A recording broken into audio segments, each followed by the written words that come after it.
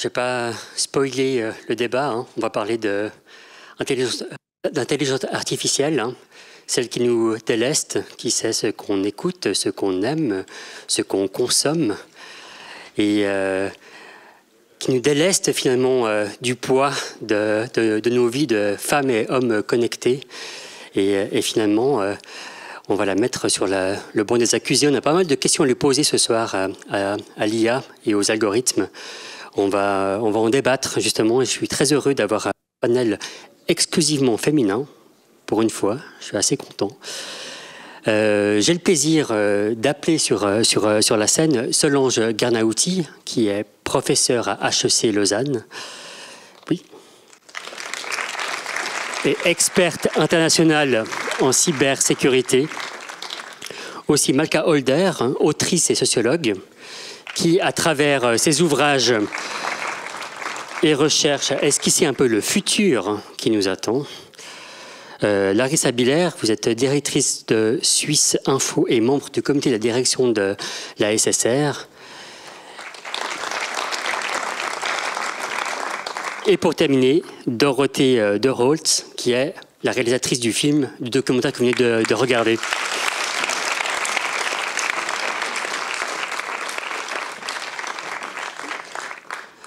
Alors ici, c'est comme à la maison, hein, donc on va débattre. J'ai pas mal de questions, mais aussi vous aurez euh, l'occasion de- d'en poser euh, également. Donc il y a des micros qui vont se balader euh, en, fin de, en fin de discussion, donc euh, n'hésitez pas. faut pas vous gêner, voilà. Bienvenue à vous quatre, Merci. Merci. Est-ce que ça marche? Ah oui. tout marche. Oui. Ça qui est bien. Moi, j'ai une question euh, peut-être pour vous d'abord, euh, Dorothée. Euh, L'IA, elle est vendue à toutes les sauces, soyons clairs. Elle, nourrit beaucoup de fantasmes. hein. Le fantasme de nous délester, du poids quotidien, de pouvoir commander en ligne, de pouvoir être ci, être ça, ça, ça, ça. On est très content. Mais finalement, là maintenant, on se rend compte, après, après 10 ans, où là maintenant, elle s'est imposée, que finalement, il y a peut-être des, euh, il y a peut-être des biais, il y a peut-être des, choses qui qui fonctionnent pas, et puis qu'il faut la questionner. Euh, qu'est-ce que vous en pensez de ça?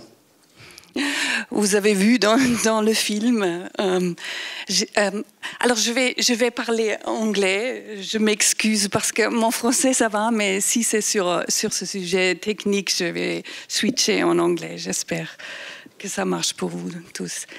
So, um, Oui, bien sûr, pour moi, c'était un sujet très important qui me tenait à cœur. Il y a environ deux, trois ans, je faisais une série sur euh, la génération Z et je me suis rendu compte que le, le dommage causé par tous ces algorithmes sur la vie des jeunes gens. Et donc, j'ai décidé d'aller creuser le sujet et j'ai été complètement choquée par le fait qu'il ne s'agit pas que d'une entreprise, mais que aussi les gouvernements euh, s'y sont mis et, utilisent euh, l'intelligence artificielle. En fin de compte, on est tous victimes de cette technologie. Et ça fait très peur. Et ce qui m'a effrayée fortement, c'est que en parlant à tous ces experts de l'intelligence artificielle, c'est que eux aussi ils étaient effrayés. Il y a eu une étude qui est sortie il y a un an. On a demandé à des experts qui avaient fourni différents documents pour les conférences quelle est la possibilité que dans notre vie, notre capacité de contrôler ces technologies et leur utilisation va conduire à l'extinction de l'espèce humaine. Et 50% des personnes qui ont répondu qu'il y avait 10% thought that the likelihood was 10 de possibilités. Et beaucoup, et 50% ont pensé qu'il c'était 10%, voire plus. Pourquoi est-ce qu'on travaille sur quelque chose qui, qui porte en lui un potentiel d'extinction de l'espèce humaine? Provocatrice, mais finalement, on a aussi tous adhéré, hein, toutes et tous adhéré à à cette évolution technologique. Et là, maintenant, on la remet en question. Alors, qu'est-ce qui s'est passé So for me, I, I, I, I have been interested. Pour moi, je m'int- suis intéressée au sujet dès le départ. Je vivais en Californie, dans la baie, euh, près de la Silicon Valley. Et donc j'ai vu ça dès ses débuts. Et les gens de ma génération, ceux qui ont lancé ces entreprises au début, ils étaient tous idéalistes, ils voulaient changer le monde, ils voulaient démocratiser le savoir, le pouvoir. Donc ils ont tous commencé avec de très bonnes intentions. Mais ce qu'ils ont sous-estimé, et qui a été sous-estimé par tout le monde, c'est que la, la capacité d'être corrompu de l'âme humaine, du psychisme humain, par le pouvoir et l'argent. Parce que ces entreprises, pour développer ces technologies, ont besoin de fonds énormes. Donc, elles ont besoin d'argent d'investisseurs. Après un très court laps de temps, l'entreprise n'est plus détenue par les fondateurs, mais par les investisseurs. Et ce qu'ils veulent, c'est du de la rentabilité. Ils veulent que leur argent soit multiplié. Et c'est ce qui s'est produit. Et les fondateurs ont été corrompus par ce pouvoir dont ils disposaient tout à coup. Et ils ont perdu totalement contact avec leur base, avec la réalité. qui serait prêt et prête à, arrêter de commander en ligne ou à, se passer de, de l'IA pour euh, votre confort euh, d'homme et de femme? Ah. Allez, levez la main, levez la main. Ah, il n'y a, pas de... Ah, carrément. Parce que, parce que vous, justement, Solange Gernauti, euh, ben vous, voilà, vous êtes professeur à HEC Lausanne, mais également euh, vous êtes, euh, vous êtes expert en, en, cybersécurité.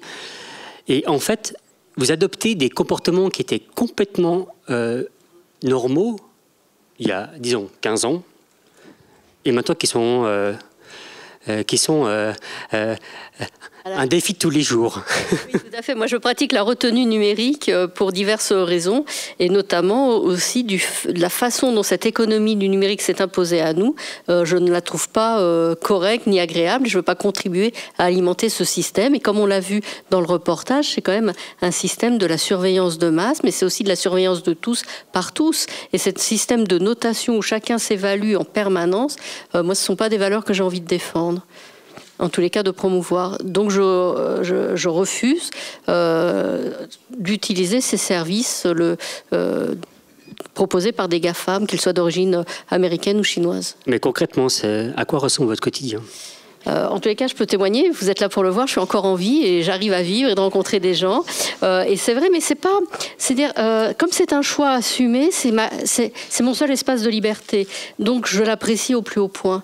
Et, et je vois pas ça comme une, peine que je m'impose. Alors là, justement, vous me tendez une perche monumentale, parce que oui, alors c'est votre libre arbitre justement de, faire, de faire ce choix, mais quand est-ce qu'on vous impose justement ce type de société-là? De devoir euh, passer par euh, l'IA ou les technologies pour pour réserver un billet d'avion, si vous prenez l'avion encore. alors il est vrai que j'ai de la chance d'avoir l'âge que j'ai, donc de pouvoir vivre autrement et de pouvoir choisir de vivre autrement et d'essayer de, m'extraire le plus possible de ce qui m'est imposé. Mais j'avoue que c'est c'est pas si simple, hein. la vie n'est pas si simple non plus. Mais c'est pas un renoncement pour moi, c'est de choisir de vivre autrement. Et quand j'étais petite, moi, l'an 2000 me faisait rêver. Le 21e siècle aussi. Euh, je peux vous dire, ça me fait moins rêver maintenant, quoi. Et je l'avais imaginé autrement. Et j'ai contribué à écrire dans l'encyclopédie universelle du travail, à la fin du 20e siècle, un chapitre sur Internet et le, travail au 21e siècle. Et même à l'aube du 21e siècle, on s'imaginait pas que l'humain allait être substitué de cette façon euh, par des logiciels ou des robots. Et on, on pensait encore que l'informatisation où j'ai contribué à faire, hein, euh, qu'on serait toujours au service de l'humain. Et là, on se rend compte que le paradigme a complètement changé. Et c'est nous, les humains, qui sommes au service de ces entreprises, de cette euh, économie de la servitude, mais aussi euh, de ces machines, et que nous sommes relégués à la périphérie. Et si vous me permettez encore une analogie, parce que moi, ça m'a vraiment beaucoup interpellé, mais pourquoi en sommes-nous arrivés là? Pourquoi avons-nous accepté ce cheminement, cet état de fait? Et je me suis dit, c'est peut-être pour nous faire comprendre ce que nous faisions subir aux vivants et aux animaux.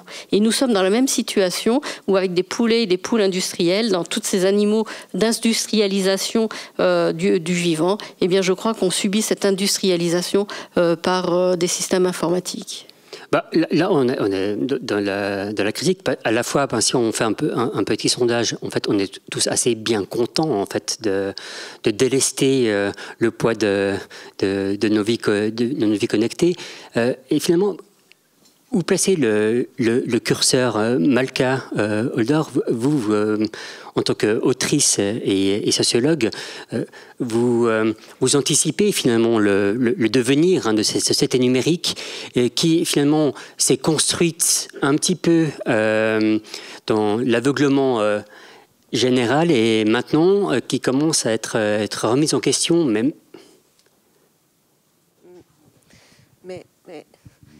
en question, mais... Mais, mais... Euh...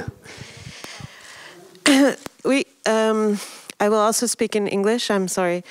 Um, I'm, Je vais aussi parler en anglais. Je suis ici parce que l'auteur d'un roman de science-fiction et un format. Ceux qui détiennent l'information sont au pouvoir. Et comme toujours, le, le pouvoir le plus dangereux, c'est celui qui est invisible qui est subtil et qui est caché. Et la question n'est pas seulement les gens qui contrôlent les informations, mais c'est cette obscurité de la façon dont les informations sont euh, euh, diffusées et utilisées.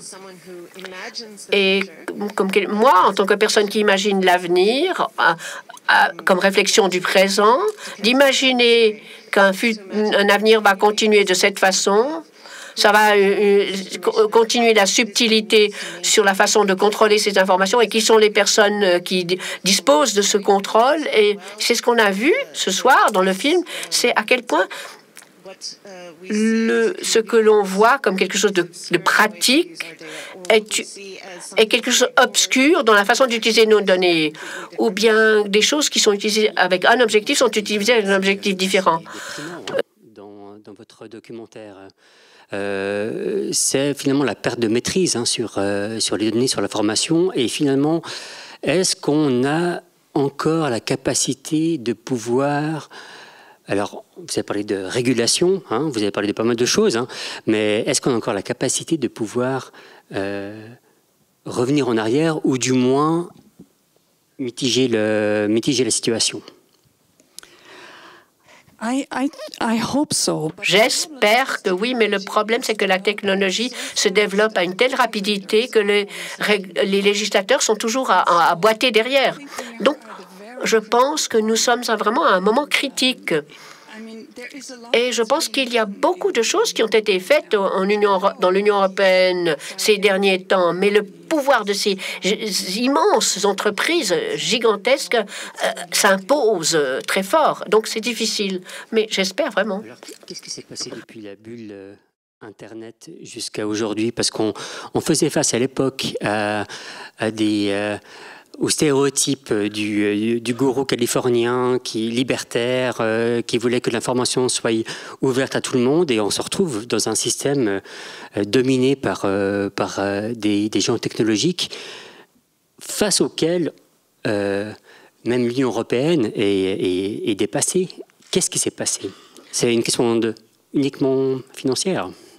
Yes, and also it's two, it's 20. Oui, ça fait 20 ans où il n'y a aucune réglementation pour ces entreprises. Elles ont pu faire ce qu'elles voulaient. Et là, il y a une telle pression sur les PDG de faire de l'argent qu'ils ont dû trouver des moyens. Au début, Larry Page, le cofondateur de Google, disait voilà bientôt tout ce qu'on va voir et tout ce qu'on va entendre et tout ce, que, ce dont on fait l'expérience dans notre vie, dans toute notre vie, on pourra le trouver dans des recherches. Et c'était l'utopie pour nous. Ce serait super si on pouvait faire des recherches des choses, de ces choses pour notre propre vie. Mais ce, à quoi on est arrivé, c'est qu'ils l'ont vendu au plus offrant parce qu'ils voulaient faire de l'argent. Qu'est-ce que ça implique, euh, la What does it mean? membre de la direction de la, SSR, justement, quand, euh, à la tête d'un d'un groupe euh, de, de médias, d'être sur un sur une matière qui est finalement euh, surveillée, surveillable. Comment est-ce qu'on comment est-ce qu'on gère ce, ce type de, de débat? C'est une immense responsabilité, à, franchement parler. Nous avons perdu presque tout avec la diminution des connexions linéaires avec les gens et nous essayons maintenant de la regagner de regagner un peu le, pouvoir sur notre propre plateforme. Et c'est quelque chose qui est crucial et très important, de ne plus être dépendant de plateformes tiers. Les plateformes tiers vont certainement faire l'objet d'une réglementation en Suisse aussi, mais euh, au cours de ces dernières années, ce que nous avons fait, c'est qu'on a donné non seulement tous nos contents, mais tous les médias ont donné tout leur contenu pardon, à des plateformes tiers qui ont gagné beaucoup d'argent. Ils ont diffusé, ils ont divisé les pays. Les sociétés ne sont pas reflétés de façon équitable dans cela. Et ce qu'il faut faire du point de vue stratégique maintenant, c'est de renforcer, pardon, nos propres plateformes et de regagner les gens, ne pas tous céder, mais travailler avec des teasers, essayer d'ouvrir des espaces de débat, de les modérer, d'essayer de les rendre sûrs pour les gens. Ça, c'est extrêmement important parce que c'est un besoin pour les gens que de parler des contenus. il faut ouvrir cela. Il faut le rendre transparent. Oui, bien sûr, il faut leur donner cet espace. On doit les amener sur nos propres plateformes qui doivent être réglementées. Et peut-être que vous savez qu'en Suisse, on va avoir bientôt une discussion sur l'INPEX. Donc Google devrait payer des, des euh, impôts sur les contenus médias qui sont en lien dans leur moteur de recherche. Can you do? Est-ce que vous pouvez régater contre Google? Euh,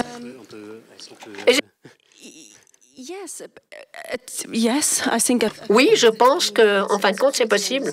La Suisse n'est pas le seul pays il y a d'autres exemples et ça devient possible. Mais la question est que combien d'argent il faudra payer?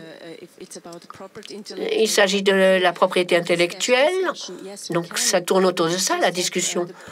Mais et puis il y a les, les, les éditeurs privés euh, qui viennent de publier une étude il s'agit de 154 millions de francs qui sont en jeu en Suisse.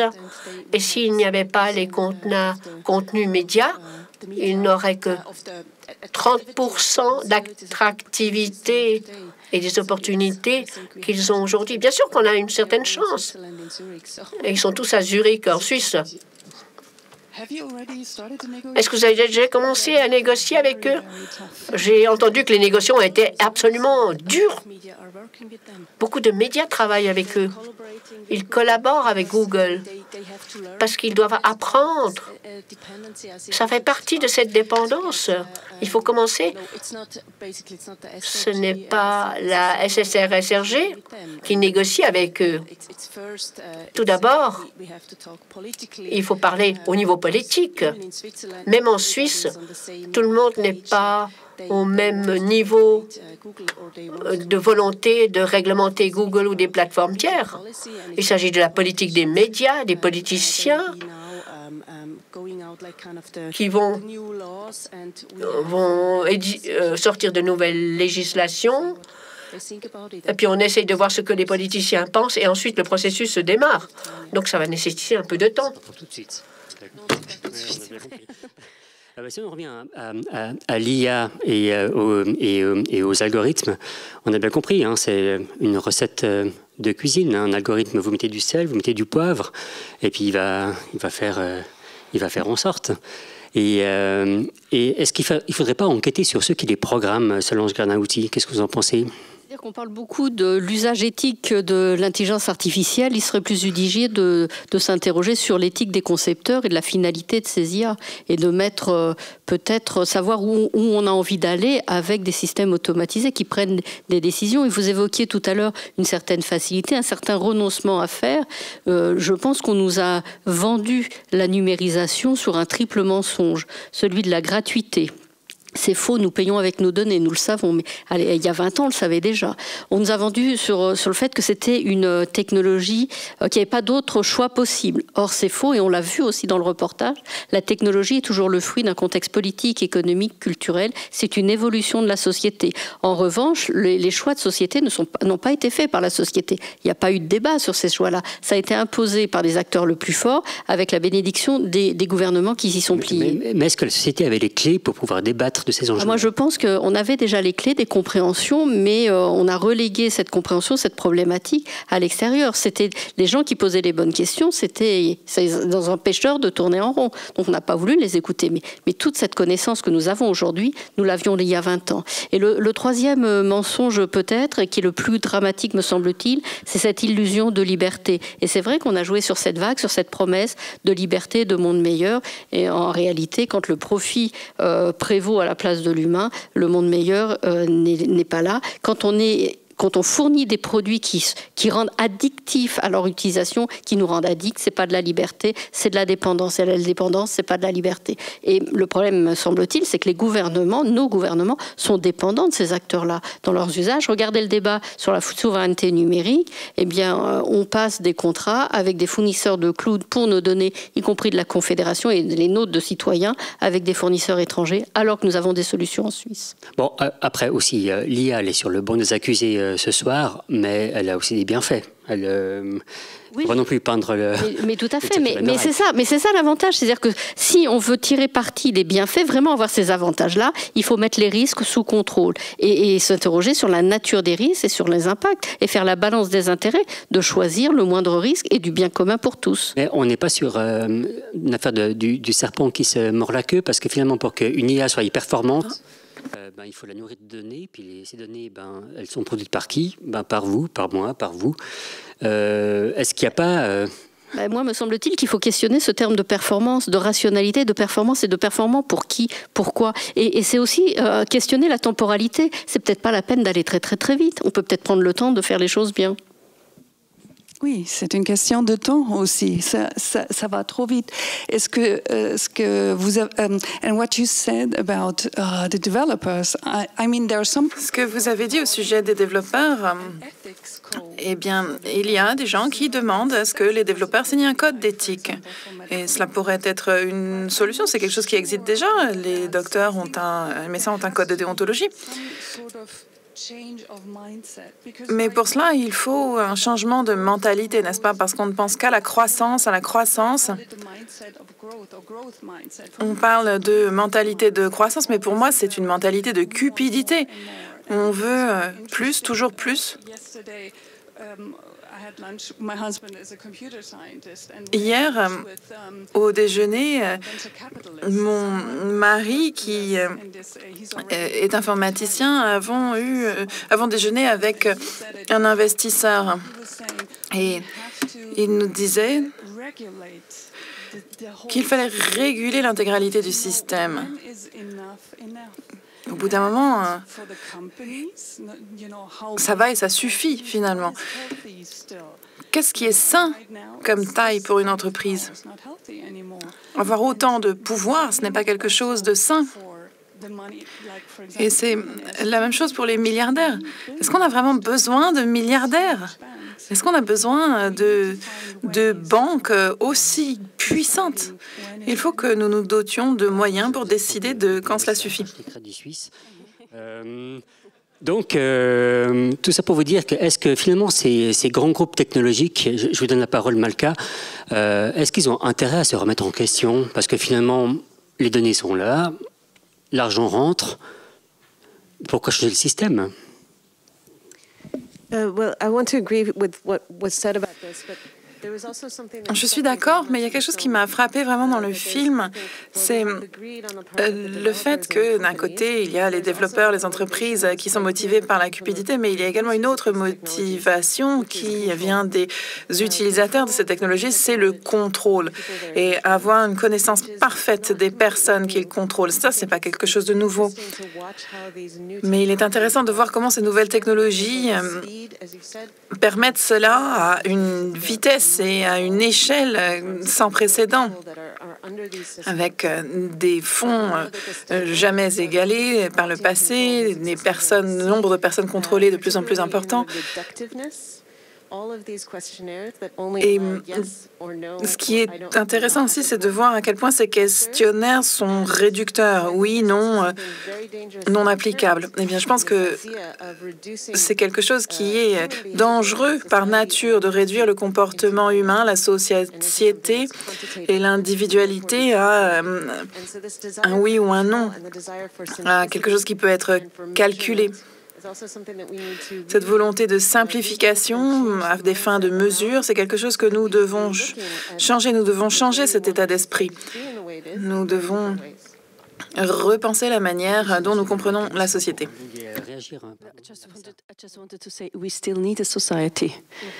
Oui, je voulais dire, nous avons, nous avons besoin de la société, ça c'est la première chose. Je ne peux m'exprimer que du point de vue des médias, mais en tant que médias, où s'arrêter? Par exemple, si on voit que en Suisse, 38% de la population ne consomme pas de, euh, de, de produits d'actualité, euh, entre 18 et 24 ans, c'est seulement 8 minutes par jour. Et sur les réseaux sociaux, ce sont des, choix de société difficiles et nous devons reconstruire et repenser la, la société. La question est donc comment s'y prendre? Le journalisme a changé, mais dans le monde numérique, nous pouvons créer des communautés. Je pense que c'est euh, là que nous devons aller. Et pour parler des données, les données, ce n'est pas toujours une mauvaise chose. Nous allons avoir besoin à l'avenir de pouvoir se connecter, même le service public. Nous allons devoir trouver des manières d'atteindre la population. C'est la première chose. Ensuite, comment reconstruire une société? Eh bien, cela veut dire trouver un nouveau discours, le discours ambiant.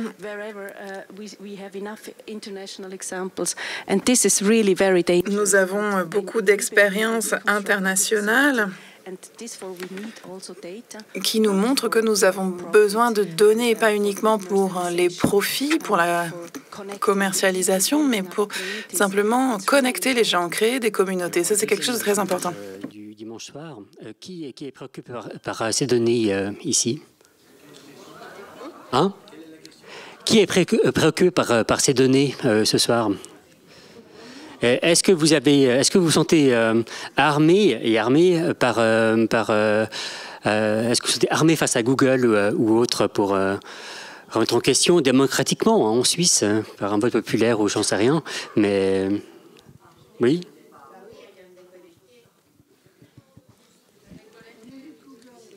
Qui, qui serait prêt de payer, de payer pour Google? Mais on paye déjà. Non, le service, vraiment pour le service. Est-ce que ça garantit qu'ils ne prennent pas en plus les données Ah, si, ils vont le faire. Hein. yes, but this is the question. These companies need. Yeah. Mm, mm. But this was the reason why they had to find other ways, because people were not willing to pay. Et c'est pour ça qu'on a dû trouver de nouvelles modalités, parce que les gens ne voulaient pas payer pour le service. Et c'est comme ça qu'ils ont commencé à trouver d'autres manières de faire de l'argent. Et c'est à ce moment-là qu'on s'est rendu compte que si on ne paye pas pour un service, eh bien c'est nous le produit. De, vous parler ce soir du... Euh, je vais vous poser après encore la, question. Je ne sais pas si vous connaissez euh, ce, ce, chercheur américain à l'Université du Maryland qui s'appelle Frank Pasquale. Et c'est un des premiers qui a théorisé la, théorie de la, boîte noire hein, sur euh, ces grands géants technologiques dont, on parle ce soir. La théorie de la boîte noire, c'est que finalement, bah, des, Google, des Facebook, des YouTube, est-ce que vous voulez, euh, finalement, en fait, les algorithmes, enfin, euh, l'information arrive dans cette boîte noire et on ne sait pas ce qui se passe. Et après, ils sont restitués et finalement, on n'a aucune, aucun, moyen finalement de critiquer, de remettre en question, de critiquer ces algorithmes. Est-ce qu'ils sont, est-ce qu'ils ont des biais? Merci pour le téléphone portable, monsieur. ouais, ben, c'est égal, mais merci beaucoup. Euh, et finalement, en fait, on, on, les érige en, entreprise super cool, la Silicon Valley, avec les, avec les, baby-foot et, et, tout ce que vous voulez, mais on ne sait rien de leur modèle économique et de la manière dont ils gèrent les algorithmes qui changent tout le temps pour, pour notre bien.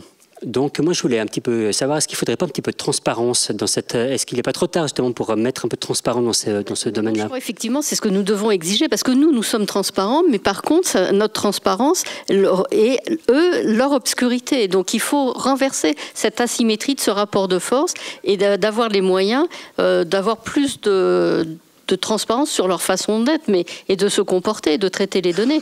Mais ça, je pense que ça va être difficile à, acquérir. On a laissé faire pendant trop longtemps. Ils ont pris le pouvoir. Ils sont capables d'arracher toute la concurrence. Et on l'a vu aussi dans le reportage. Je remercie Madame pour ce, euh, film, cet excellent film. C'est le poids des lobbies. C'est-à-dire que même si vous allez à Berne, que vous allez rencontrer, c'est des lobbyistes. Hein. Il ne faut pas rêver. Ils ont un poids incroyable. Et les décisions prises sont souvent faites par des, des conseillers qui, qui ont des conflits d'intérêts. Vous voulez réagir, Malka? Non, je, je suis d'accord. En fait, um, I, I think I also think... Oui, eh bien, je pense aussi que les, les données, c'est vraiment quelque chose de merveilleux. La technologie, c'est merveilleux, mais nous sommes dans une situation où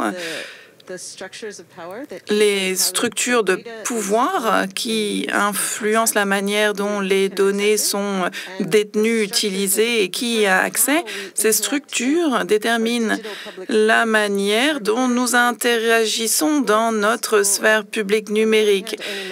D'un côté, il y a euh, l'idée de gagner de l'argent et de l'autre côté, il y a la surveillance et le contrôle. Mais les, choses n'ont pas besoin d'être ainsi. Alors, en tant qu'autrice de science-fiction, mon rôle, c'est vraiment de montrer qu'on peut faire les choses différemment. Et pour euh, citer euh, Ursula Le Guin, la puissance des rois semblait impossible à usurper, mais aujourd'hui, eh bien, c'est la situation dans laquelle nous nous retrouvons. Nous pouvons contribuer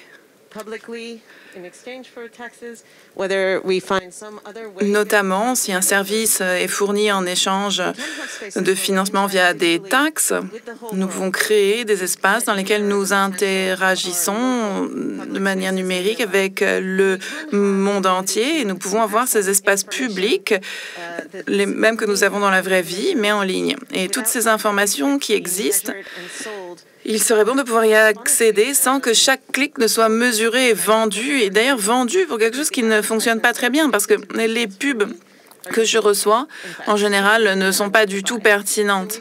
Ça n'est jamais rien que j'ai vraiment envie d'acheter.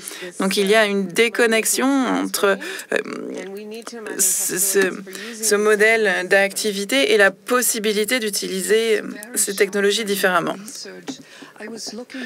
Ce que j'ai trouvé choquant pendant les recherches, j'ai regardé un projet qui était financé par le ministère de l'Éducation et de la recherche en Allemagne. Et ce ministère avait un projet concernant la possibilité d'éliminer les élections en utilisant euh, des algorithmes. Eh bien, Asimov a écrit il y a 50-60 ans une nouvelle là-dessus, précisément. L'ordinateur a décidé qu'une personne, cette personne était représentative euh, du reste de la population, donc il n'y avait pas besoin de voter. L'ordinateur avait réussi à réduire euh, les opinions de tous à cette seule personne. Évidemment, c'était un homme. Donc ça, c'est quelque chose qui préoccupe et de longue date libre arbitre euh, là-dedans. J'ai aussi un petit peu l'impression que c'est la double peine. Hein. À la fois, c'est à la société civile de, euh, de s'offusquer par rapport à, la, à, la, à, la, continuité de, euh, de la société numérique. Et, et, finalement, qui doit prendre la responsabilité de ça? Est-ce qu'on a toujours, notre libre arbitre dans cette société-là? Ben, je, pense qu'on a encore, et parce que nous sommes aussi en Suisse, la liberté de nous, exprimer et de dire les choses et peut-être de les refuser. Et on a vu ce courant un peu changer avec la problématique sur le climat, parce que c'est exactement la même chose. On voit bien qu'on va dans un futur qui n'est pas désirable. Au lieu de parler de durabilité, moi je voudrais qu'on parle plus de désirabilité. Qu'est-ce qui est désirable? Et en fonction des objectifs à fixer, on pourrait avoir un chemin pour y aller. Et Madame l'a aussi évoqué, c'est la voie du milieu. Et, le problème, c'est que notre esprit, notre imaginaire et nos récits sont phagocytés, colonisés par une seule façon de faire du et il y a plein d'autres façons de le faire. Et c'est à nous de réimaginer et de proposer. On l'a vu aussi avec des jeunes qui prenaient parti, qui se mobilisaient et qui, proposent aussi d'autres façons d'être au monde. Je pense que le courant euh, peut venir de multiples sources et puis surtout de la prise de conscience de, euh, de nos politiciens qui sont censés nous représenter pour les aider aussi à, à prendre les bonnes décisions. Donc c'est un mouvement qui doit et aussi vers le haut.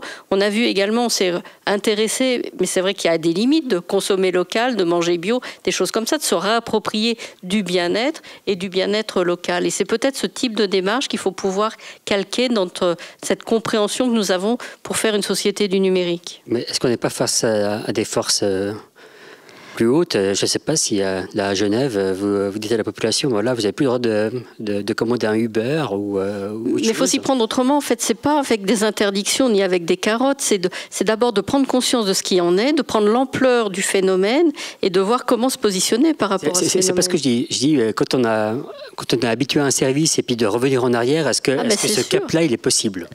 Ben, à un moment donné, il faudrait que ça soit possible si on veut un autre futur. Sinon, on n'a qu'à se soumettre à ce futur-là et ne pas en imaginer d'autres. Et, c'est vrai que la soumission par le divertissement, c'est ce que nous avons eu avec le numérique, avec la facilité.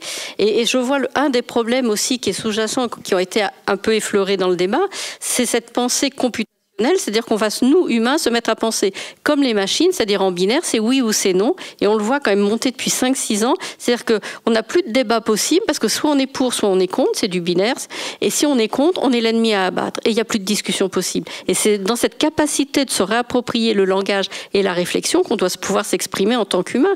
Mais le problème que nous voyons à venir, c'est ces IA qui parlent à notre place, qui écrivent à notre place, qui pensent à notre place. Et ça, faut peut-être pas se laisser déposséder à ce point-là, sous prétexte de facilité, de rentabilité ou de performance de ce qui fait que nous sommes humains.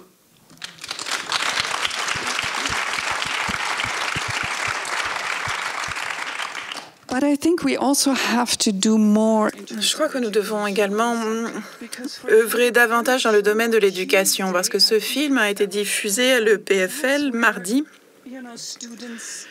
Et c'est là que les étudiants étudient l'informatique et euh, les intelligences artificielles.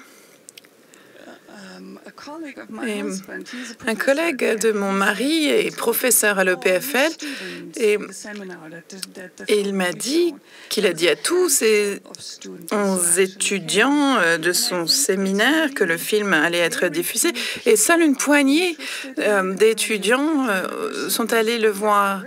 Et lorsque vous regardez les programmes universitaires, vous pouvez voir qu'il y a très peu qui est fait sur ce sujet. Je pense que c'est un grand problème, effectivement. Mais on n'est pas en mesure aussi d'éduquer dans ce sens-là, parce que nous-mêmes, euh, enseignants, enfin, je me mets dans l'eau, euh, sommes euh, contraints ou forcés ou dans un moule qui nous oblige à aller vers ce type de démarche. Si on veut avoir des budgets, des financements pour la recherche, moi je sais très bien ce qu'il faut demander comme budget pour tel type de projet, pour, pour être financé. Donc il y a un système de contraintes et de plus en plus de professeurs, y compris à l'université, y compris à l'EPFL, viennent de ces entreprises et qui transposent aussi ce mode de, pensée. Et quand les profs sont contents d'être sur la photo avec les Google, Facebook et compagnie, faut pas s'étonner qu'ils enseignent que Google, Facebook, Amazon et compagnie. Donc, et on voit des chers qui sont subventionnés par ces entreprises, des projets qui sont financés. Et Madame, vous l'avez fait, enfin mis en évidence dans le film, c'est une réalité. Et quand on est à la marge, on est exclu. Et euh, par exemple, moi, ils ont, ils m'ont quand même viré de la commission euh, doctorale, de l'école doctorale dans le système d'information. Euh, on, m'a viré parce que j'avais une façon de penser autre et différente. C'est aussi une réalité. Donc les voix à, la marge ont du mal à se faire entendre et respecter, y compris dans des instances universitaires où on est censé réfléchir et être tolérant et ouvrir à des multiples idées, ce qui n'est pas le cas et on est conditionné, y compris dans les budgets de, recherche, par un certain type de, recherche et d'aboutissement. Alors moi j'ai une question euh, extrêmement bête pour, pour vous quatre. Est-ce que l'intelligence artificielle est-elle vraiment intelligente, vu qu'elle reproduit ce qu'on lui a appris? Oui, oui. Mais qu'est-ce que c'est l'intelligence artificielle maintenant? Ah Parce que bienvenue au cours de philosophie.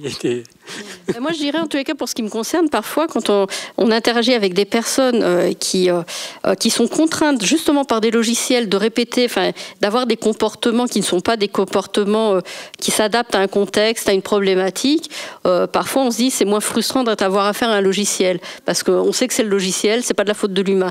Mais moi, je trouve quand tu as une personne qui n'est pas en mesure de répondre parce qu'elle n'est pas peut-être pas formée, elle n'a pas les outils parce qu'elle est dans une recherche de performance, elle est sous stress, c'est juste insupportable. Donc je pense qu'on est conduit euh, à accepter plus facilement euh, euh, du logiciel que de l'humain mal formé, quoi, ou mal, ou pas en situation de bien faire son Mais est-ce qu'elle est, intelligente? Parce qu'en préparant ce, débat, j'ai parlé à, à, quelques chercheurs qui, qui me disaient non, en fait, elle est très bête. Ah ben, fait, sait faire très vite plein de choses automatisées. C'est des statistiques, des mathématiques. Pour moi, il n'y a pas d'intelligence humaine. Enfin, il y a plutôt de la bêtise humaine qui est automatisée dans des logiciels, dans la plupart des cas. Euh, mais c'est vrai que le mot intelligence, on peut, il est relatif. Il faudrait pouvoir le définir. Mais je pense que c'est un abus de langage. C'est comme de parler de numérisation de la société. Il faudrait parler d'informatisation de la société. Une IA, c'est un programme informatique. C'est de l'informatique, mais c'est plus vendeur d'appeler ça IA numérique ou autre. Et ça fait peut-être moins peur il faut un, benchmark, il faut un, un, enrobage marketing pour, euh, pour vendre le truc ben, Non, non, je ne sais pas. en tous les cas, ce qu'on voit, c'est que c'est bâti sur des, des processus euh, arithmétiques et logiques et sur des statistiques. Mais on ne peut pas réduire toute la complexité du monde dans du code informatique, avec des choix arbitraires faits par des programmeurs dont on a vu aussi le profil.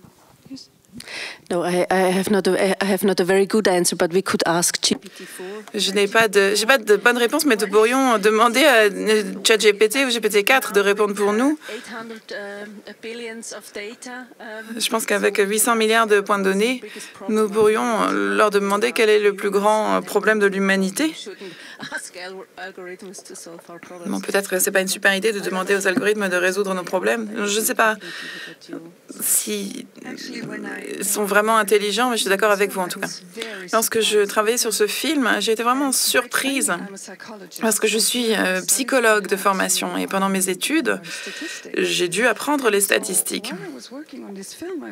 En travaillant sur ce film, ce que j'essayais de comprendre, c'est comment fonctionnaient ces algorithmes. Et je me rendais compte que j'étais capable de comprendre parce que c'est quelque chose de très simple. Très souvent, c'est extrêmement simple. Ce sont des calculs très simples. Et ce que cela me rappelle, c'est euh, le concept de la banalité du mal d'Anna Arendt. Anna Arendt était philosophe et elle a écrit un livre sur Adolf Eichmann, un dirigeant nazi, qui a euh, organisé le transport des Juifs en camp de concentration. Et ce qu'elle a remarqué, c'est que Adolf Eichmann n'était pas un monstre, ce n'était pas un psychopathe, c'était un bureaucrate qui ne faisait que son travail. Et pour moi, c'est exactement ce qu'est l'intelligence artificielle. Elle n'a pas d'éthique, elle n'a pas de déontologie et elle fera son travail, peu importe dans quelle main elle tombe. Et on peut déjà voir que dans certains cas, et c'est déjà le cas, eh bien, c'est Adolf Eichmann sous stéroïdes. Mais j'irai encore plus loin? Parce que je vous ai demandé, mais qu'est-ce que l'intelligence artificielle finalement? Parce que à ce stade, nous euh, n'agissons pas de manière indépendante. je ne suis pas experte en intelligence artificielle, je ne suis pas informaticien, mais nous avons des statistiques. Nous avons des algorithmes qui sont utilisés dans la bureaucratie. Et cela devient un outil, pas seulement un outil qui fait ce que les gens lui demandent, mais ça devient une excuse, un prétexte.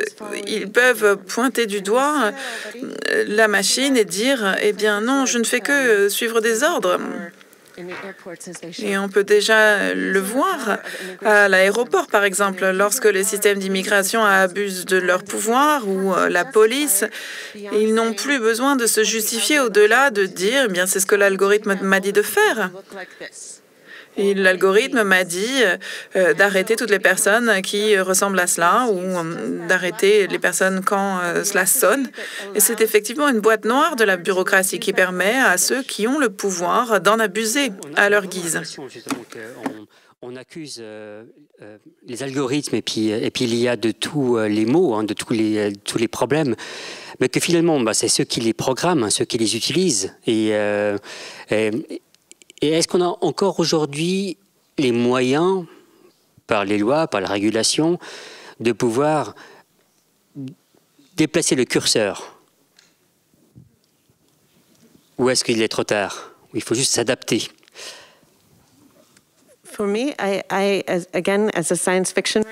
eh bien, encore une fois, en tant qu'autrice de science-fiction, je dois vous dire qu'il y a, je pense, encore l'avenir d'un la possibilité d'un avenir différent. C'est fondamental pour moi.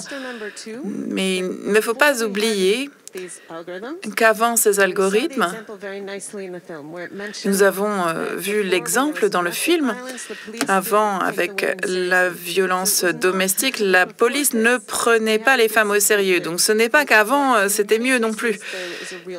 Souvent il y a un véritable problème et les algorithmes tentent de le résoudre.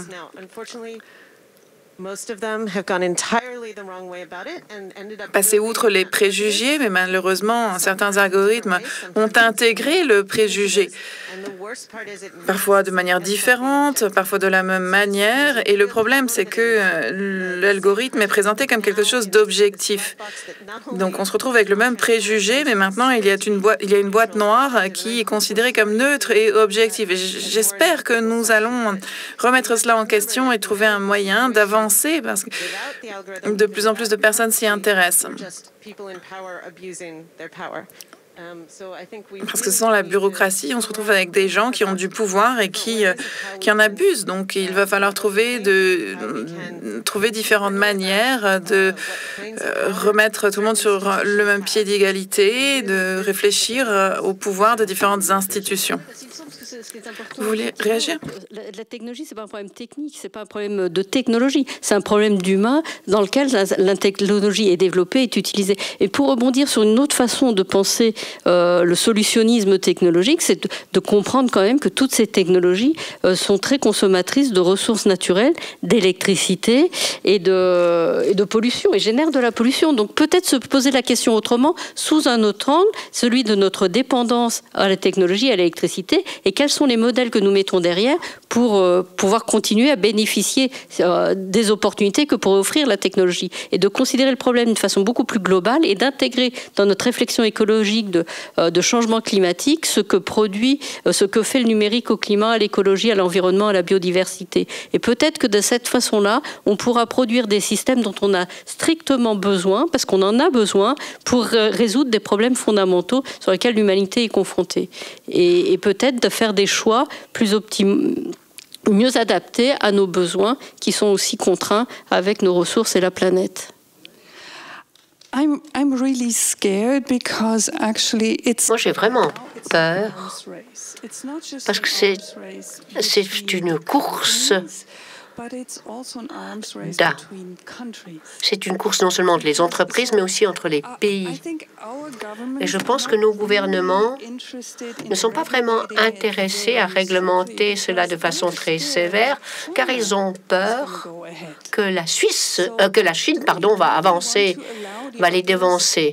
Donc, euh, ils n'aimeraient pas que les autres euh, soient en tête par rapport à nous. Et je pense que ça, c'est un problème important qui sont dans la salle pour, euh, pour moi, pour vous Finalement, on se sent un petit peu démunis hein, par rapport à, à, ces enjeux stratosphériques. On, on, va rester sur la Terre et Bezos va aller quelque part ah, sur une autre planète. bon dimanche. Mais Enfin, si je peux me permettre aussi une remarque, on, voit bien que c'est des décisions politiques qui favorisent aussi ce comportement. Vous parliez de Bezos, mais d'Elon Musk avec les, satellites, que ce soit ceux d'Amazon ou ceux euh, d'Elon Musk, c'est ce qui va nous couvrir une partie de ce qui n'est pas encore câblé ou atteignable en Suisse. Mais peut-être qu'on aurait pu résoudre le problème autrement et que le gouvernement n'avait peut-être pas à se défausser sur le secteur privé pour son devoir d'avoir de, cette connectivité universelle en Suisse. Et le service universel, on n'est pas obligé de passer par des acteurs étrangers pour l'avoir. Il nous reste un, il nous reste un, petit quart d'heure. Moi, j'ai encore plein de questions, mais en fait, maintenant, j'ai envie euh, de vous donner aussi la, parole. Donc, il y a des micros qui se baladent dans, la salle. Si vous avez des questions, il y a des mains qui se lèvent. Il y a Madame à droite, euh, Madame à gauche. voilà. Ah.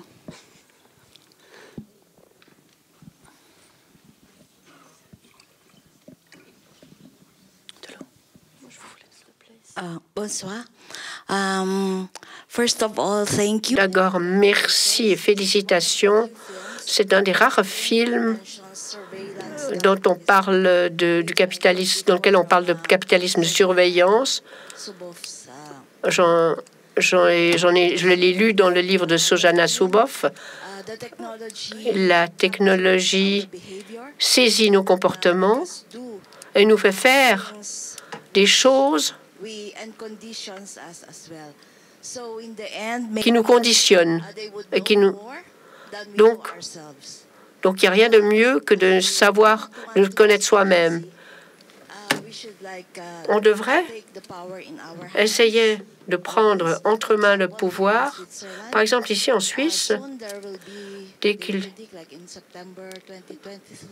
en septembre 2023, il y aura une, ah oui, des, des, des, des, systèmes de surveillance dans les gares. Je ne suis pas sûre. Pour, pour ma part, je pense que nous ne devrons pas permettre que cela arrive. Et ce qu'a dit Madame Gernauti, ce système de satellite euh, d'Elon Musk qui devrait couvrir euh, toute, la, toute la Suisse dans son entier. Et j'ai aussi entendu Maria Ressa, la, qui a reçu le, prix Nobel en 2020, qui a déclaré qu'une des meilleures choses à faire, ce serait d'avoir des contacts sociaux directs entre les gens et avec notre communauté pour euh, se pencher sur toutes ces questions.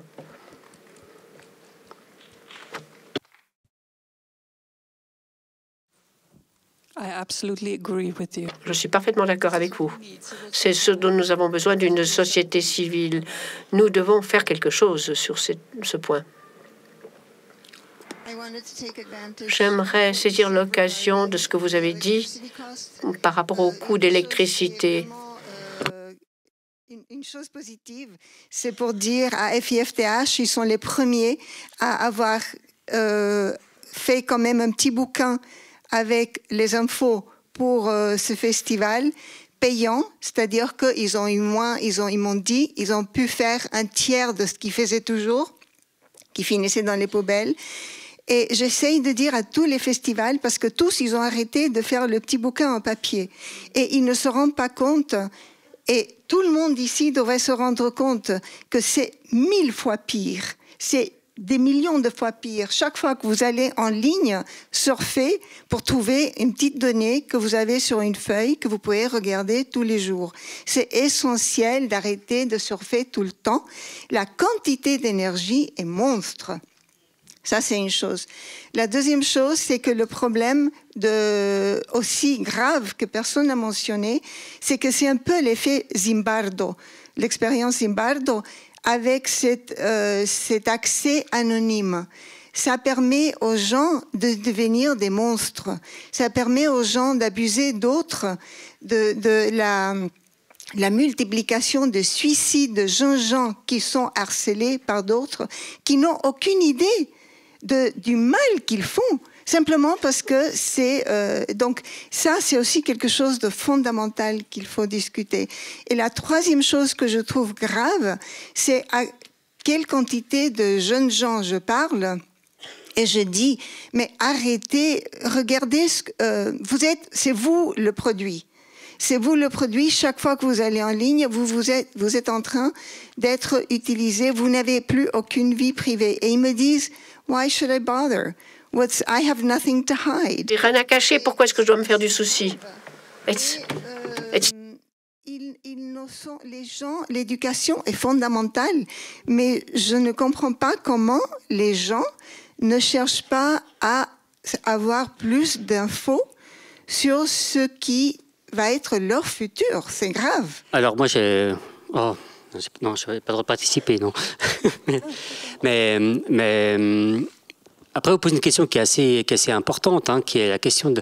Enfin, moi, dans, vos propos, je suis entièrement d'accord euh, avec vous, mais à la fois, il y a aussi une, une culpabilité hein, par rapport à l'individu, parce qu'on leur vend des services, c'est très pratique, et puis euh, j'ai rien à cacher, mais je pense que vous non plus, euh, et puis qu'on va devoir vivre avec.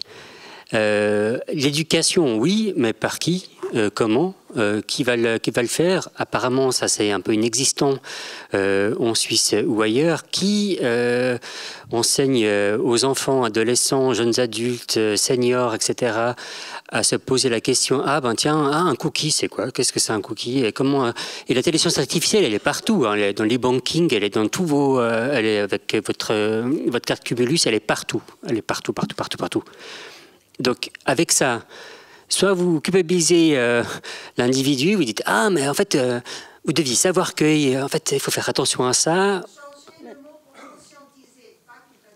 Mais, mais oui, mais, alors, mais oui, alors qui, qui, prend en charge le, qui prend en charge tout ça? C'est un, un, chantier titanesque. Hein. Oui, mais je, pense que chaque individu a déjà beaucoup sur les épaules. Et puis que les grands groupes nous ont déjà bien, euh, bien chargé la barque, non? En tous les cas, pour l'éducation, si je peux me permettre juste une remarque, c'est qu'on leur apprend à utiliser, pas à réfléchir ce qui se passe derrière l'écran. Euh, on leur apprend à peine à coder, et en tous les cas, surtout pas à utiliser des logiciels libres ou des versions alternatives. À l'université, on leur apprend pas, en tous les cas dans ma faculté, à utiliser de, de l'open source. Hein. Et l'argument, j'ai rien à cacher, c'est un argument de luxe. Demandez aux gens en Iran. Hein? Si, enfin, on ne connaît pas les critères de sélection des algorithmes, donc on ne sait même pas si on n'aurait pas quelque chose à cacher, parce qu'on ne sait pas sur quels critères la décision va être prise. Peut-être qu'aujourd'hui, un jour, on va décider d'avoir une veste orange avec un t-shirt euh, vert. C'est, Vous êtes une terroriste. Ouais. Donc euh, c'est ça, c'est l'obscurité des algorithmes et des critères qui peuvent changer d'une façon complètement dynamique. Et c'est ce qu'on voit apparaître avec aussi le contrôle social à la chinoise qui arrive aussi chez nous. Est-ce qu'il y a d'autres euh, questions dans le public? La dame là-bas? Oui. Merci pour ce, débat vraiment génial et ce film qui pose bien les choses. Euh, non, moi je voulais juste dire, parce que pour pas qu'on se sente trop démunis, à Genève, il y a un groupe qui s'appelle Utopie, e, Utopie, qui, euh, qui, qui, donne d'autres alternatives aux GAFAM. Hein. On, peut, on peut se passer de Google, on peut se passer d'autres choses. Et puis, euh, moi je suis allée écouter une de leurs conférences à Fonction Cinéma et je trouvais que c'était vraiment, vraiment, ça donne des pistes. Et je pense que si on est beaucoup à aller à leur demander des choses. Ils recyclent aussi des ordinateurs. Enfin, il y a, il y a tout un travail au niveau énergétique, euh, au niveau de, du gaspillage de l'énergie incroyable qui se fait. Euh, voilà, je voulais juste dire ça et vous remercier pour cette belle soirée. Ah, merci. D'autres questions? Monsieur de...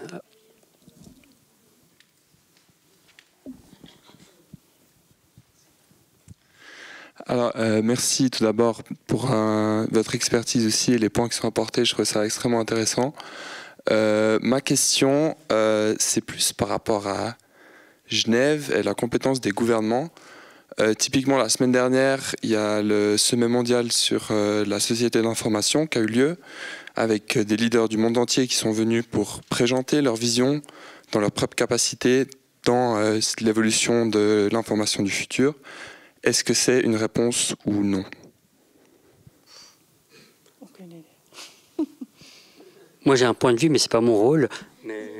non, mais vas-y, donne le tien quand même. Bah, c'est un lieu où effectivement on est censé euh, débattre de ces questions de société, de notre avenir euh, euh, numérique et notre avenir dans la vie réelle. Le problème, c'est que c'est souvent, pour pas dire toujours, les acteurs les plus forts qui ont le plus de voix et qui ont des caisses de résonance les plus importantes. Donc c'est bien que ça existe. Est-ce que ça sera que par ce type de sommet que viendront les solutions? Je n'en suis pas convaincue non plus. Il suffit aussi de voir dans les sommets tout ce qui est en parallèle des sommets et qui est qui sponsorise qui et comment. Après, euh, c'est bien que ça existe. Mais je, suis ravie d'avoir ton point de vue.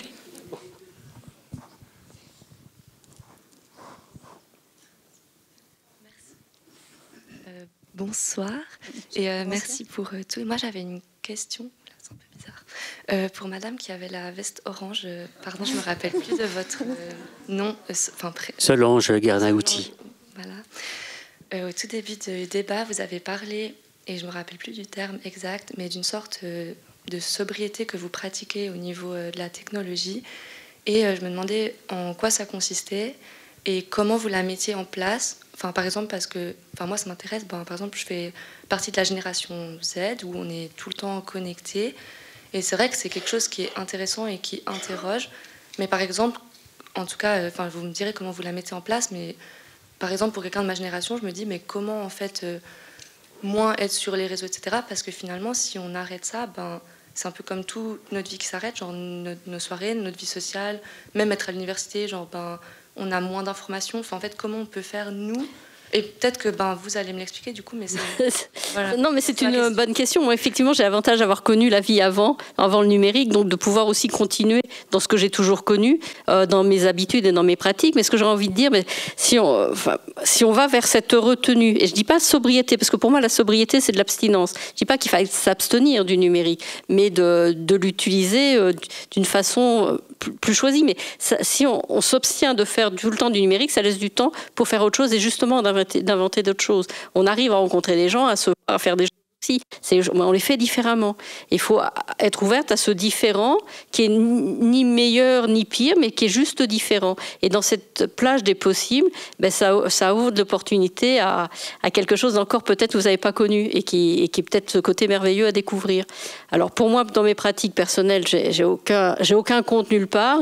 Euh, J'utilise pas les réseaux sociaux et quand je veux un service, je le paye et si possible, je le fais, euh, je le fais physiquement quand il est possible de le faire. Et il y a plein de services en ligne que je refuse de faire parce que je préfère me passer du service que de passer par un, service en ligne. Mais j'ai effectivement pas des contacts avec des gens de la famille qui seraient à l'autre bout de la terre parce que pour eux le téléphone ça serait trop cher ou des choses comme ça. Donc c'est comme ça. Et de ne pas avoir de nouvelles, je l'accepte aussi. Et, et j'ai pas besoin de me mettre en scène. Alors c'est facile, je suis en scène quand même de temps en temps.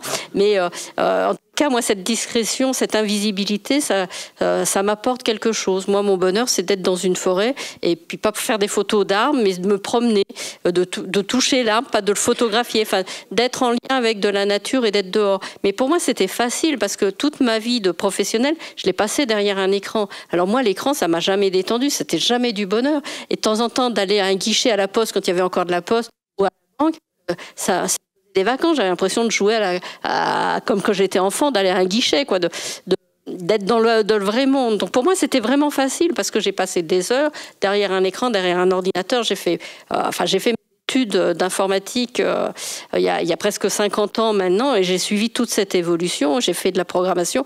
J'ai même contribué à faire un des premiers systèmes experts d'aide à la décision médicale. Euh, mais c'était de la programmation, c'est pas de l'IA on, faisait de la théorie des graphes et on se baladait dans des graphes et on savait très bien prendre des décisions parce qu'on savait faire un parcours de graphes. Mais c'est des...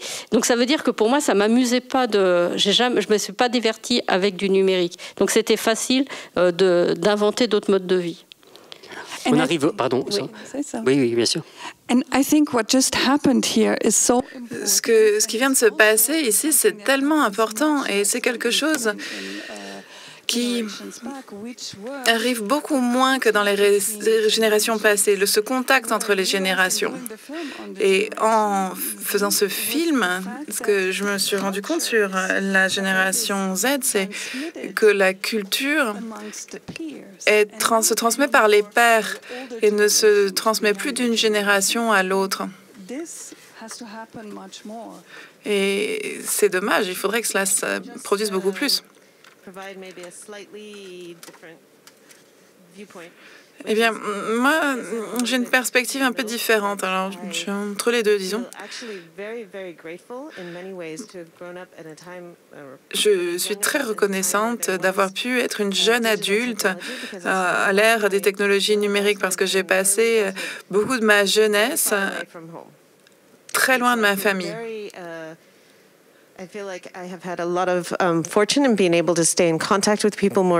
Donc j'ai pu rester en contact avec les gens beaucoup plus facilement et je m'en réjouis. Et aujourd'hui, j'ai des contacts qui sont uniquement numériques et qui sont très riches. J'interagis beaucoup avec les gens, parfois sur les réseaux sociaux publics, parfois dans des groupes plus fermés, et en particulier pendant les confinements, c'était vraiment important pour moi de pouvoir communiquer de cette manière. Et je pense que pendant que, enfin, si, on est euh, critique vis-à-vis de nos vies numériques, je pense qu'il est important de faire la différence entre le contact humain, qu'il soit numérique ou, ou en personne, et euh,